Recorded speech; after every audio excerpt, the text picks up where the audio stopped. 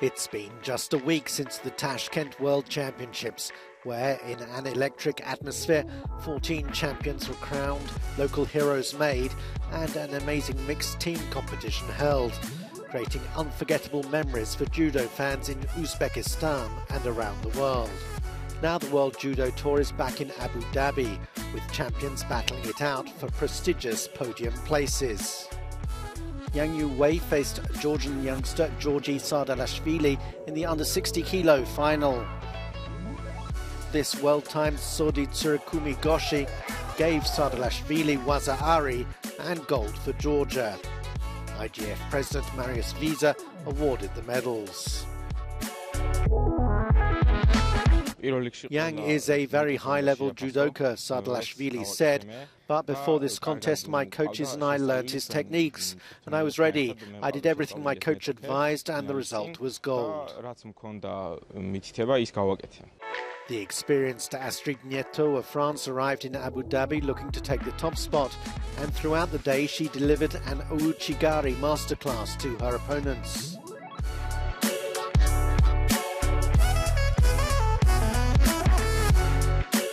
Uzbekistan's Diyora Keldiyorova faced her in the final, but Gneto was too strong, with yet another amazing Ouchigari for Waza Ari and gold.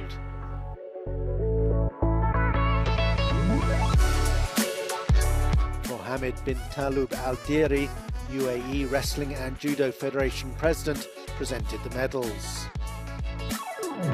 I'm uh, very happy because uh, my first uh, Grand Slam medal uh, was in Abu Dhabi when I just uh, left the junior.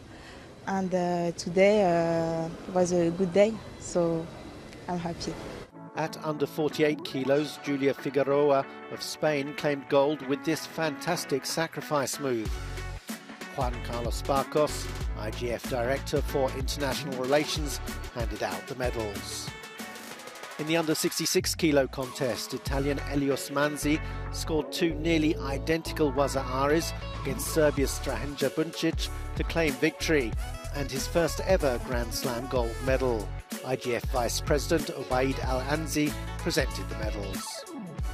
In the under 57 kilos final, Korea's 19 year old Huh Mimi defeated Kosovo's Nora Gjakova, a huge upset on a day where youth triumphed over experience.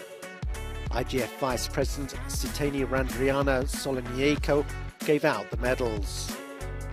An amazing day of judo, and Abu Dhabi will have more in store for us tomorrow.